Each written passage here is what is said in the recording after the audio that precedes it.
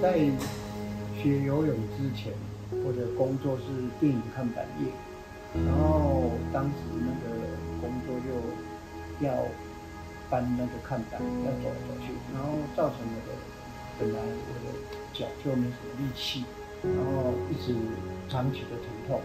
后来我就去看复健科医生，他就说啊，建议我要改行，如果我再继续做下去，可能不用到五十岁就要做轮椅了。还有他有建议我去游泳，然后当时我就想说，诶，台中市好像朋友有一个朋友介绍有一个游泳队，然后就去报报名参加那个游泳班。刚开始是要复健嘛，然后也没有什么其他的想想法，就是想说去学游泳复健。就是后来有因为游泳的时候，就是有看到一些比赛啊，那些比赛啊，所以就激发出我想要比赛的那个那个。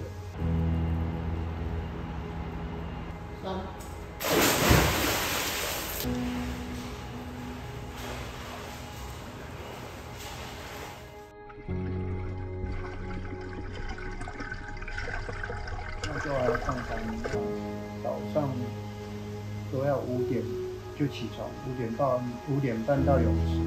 其实要下水那一刹那是，是其实是一件蛮恐怖的事情，因为四五点，然后那个那时候又没有温水泳池，所以这个是觉得我那时候比较难克服。你有想过要放弃吗？嗯，这两个是在字典里好像没有，就是有时候训练时训练的时候会很苦，可是知道说撑过去就好了。嗯，没有没有想要放弃。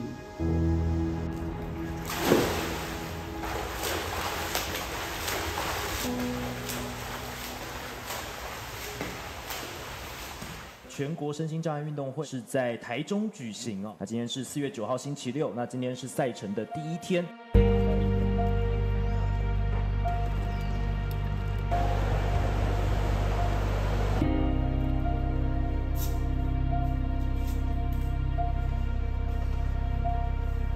然后我稍微跟你们介绍一下，是中华帕林匹克总会办他。以前叫做残障总会，因为残障两个字不好听。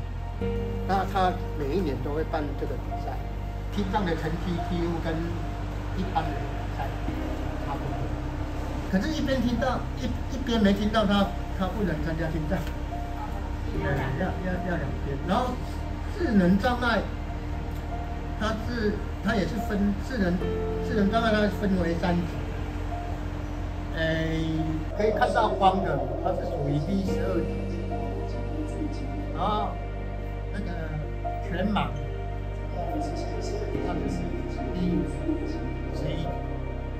然后我们的开口是 S，所以我们是 S one S 万到 S ten，是一个是这个就是要分级，嗯，才会比较公平。接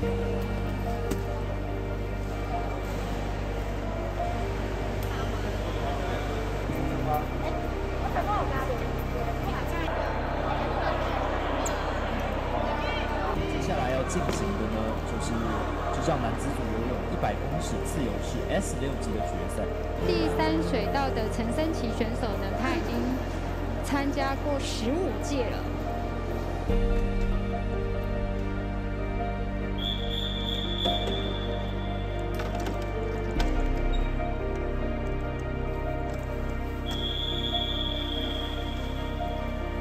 比赛正式的展开。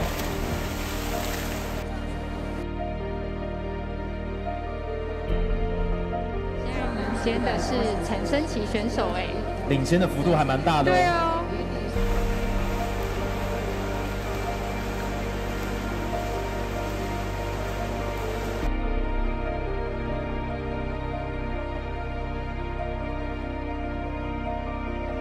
也顺利的拿下这个项目的第一名哦，一分三十四秒五六。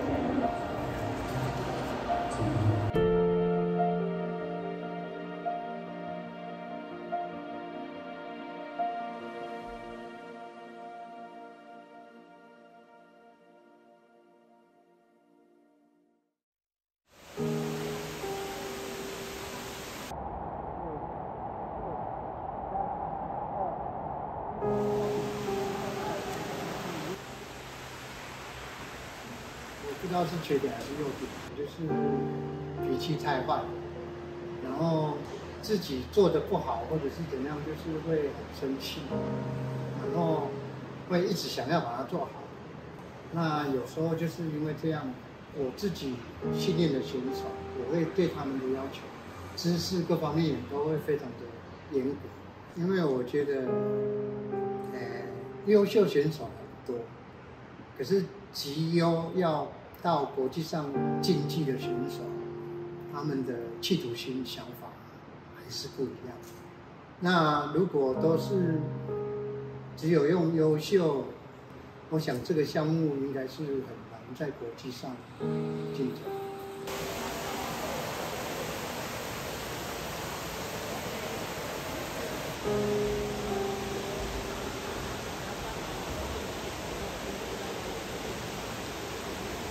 其实，在我这游泳这三十年，在曾经差不多十几年前遇到一个小朋友，哎，我们刚好在比赛，在高雄比赛，那一个阿嬷就带着那个小朋友，他那个小朋友只有四岁，他出生的时候就没有小腿，他只有两个大腿。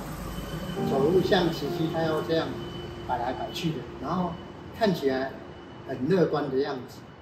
然后阿妈就带他到我的旁边看我跳水比赛。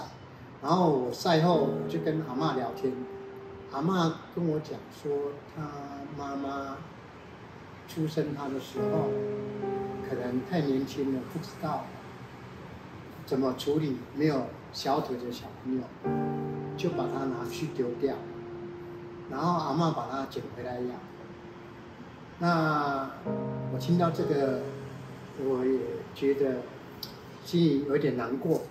可是我就跟阿妈讲，他如果好好的学游泳，这么小就开始训练，以后就是台湾的之光。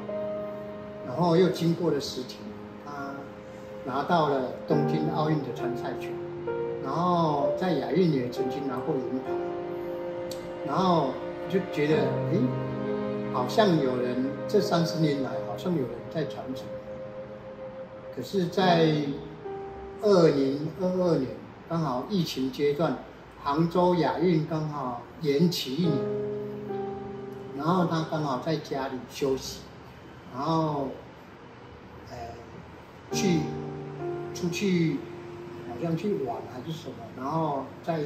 路上遇到大雨，然后他骑着三轮车，然后因为雨雨下太大，然后在转弯的时候冲到对对向，然后就被被车撞死。当时我在电视上看到这个新闻，心里非常的难过，因因为。三十年才遇到这样一个优秀又肯定的选手，这让我就让我觉得非常的遗憾。就这样，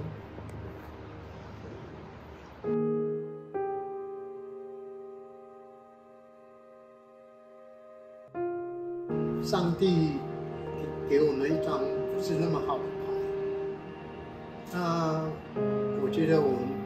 可以把这一副不好的牌把它打好，也是上帝给我们的使命。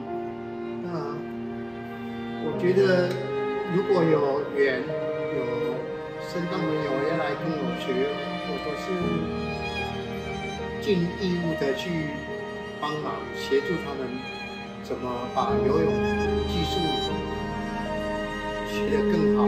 然后不会受伤，不会造成二度伤害，然后能够复健，然后能够为我们台湾争光，这个这个就是我很大的一个心愿。